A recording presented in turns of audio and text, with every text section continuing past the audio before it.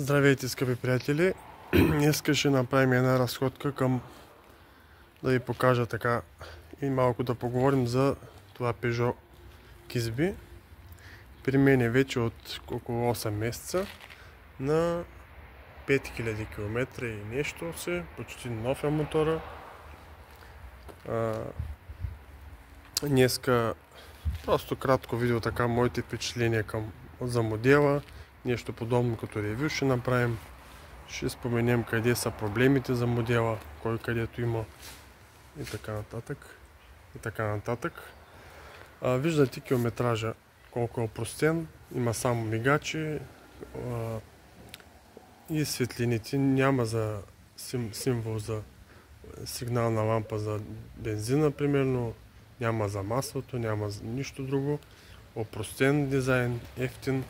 Затова и модела е толкова ефтин и струва около 2000 и нещо евро и 300 и 200 до 800 на различните версии. Този модел е 2017 Kisby Black Edition Фактически съм нямал проблеми с мотора толкова големи, който само един че при този модел, моя примерно, сеща, когато карам 100 км, излиза сама от главата на цилиндъра и после пак трябва да я сложа. Явно там са се опитвали нещо да правят преди мен, да занавиват, да пренавиват и може за това са получили тия работи. Опростен двигател. Ето виждате.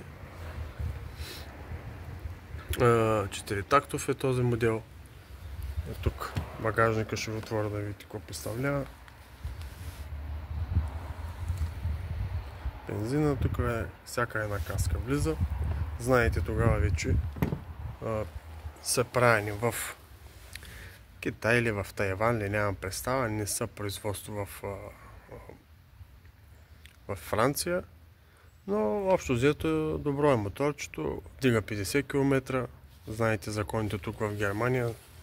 Максимална скорост до 45 мотопеда. И приятен дизайн, удобен е, нали, комфортен, лек. И фактически мотора е на малко километри, има много живот още.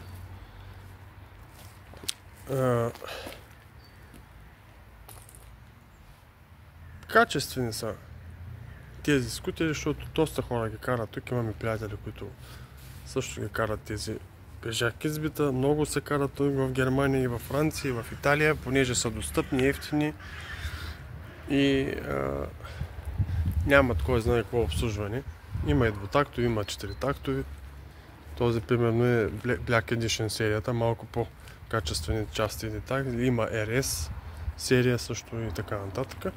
Общо взето семпъл, обикновен мотопед за всеки ден, който все пак съм 1,90, но се чувствам удобно като го карам и много маневрен и приятен за каране но предимно е женски модел и а, доста жени ги карат тук в, и в Германия, и в другите държави, тинейджери и така нататък.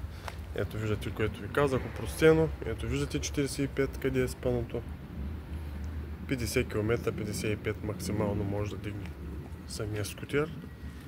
И не е това, което е било Peugeot преди, но все пак така са се постарали да направят един, що горе сполучлив и приятен скутер за всеки ден. И за този, който с малка поддръжка да може да се го кара и да се го поддържа целогодишно и за дълго време. И така днес ви представих Peugeot Kisby Black Edition от 2017 година.